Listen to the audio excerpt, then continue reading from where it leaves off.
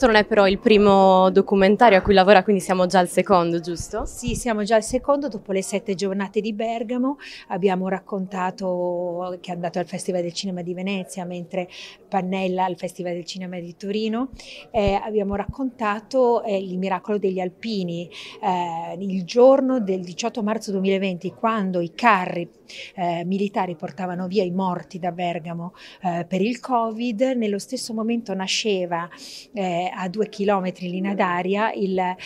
il, l'ospedale degli Alpini che è nato e è stato costruito in sette giorni. È stato un ospedale anti-Covid, è,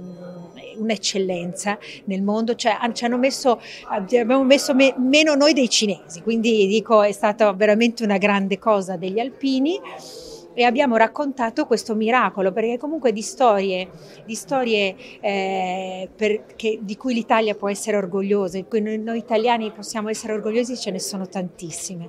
Ne abbiamo raccontate due che mi hanno non solo arricchito me ma hanno arricchito chi li ha guardate e questa è una grossa, è una grossa soddisfazione.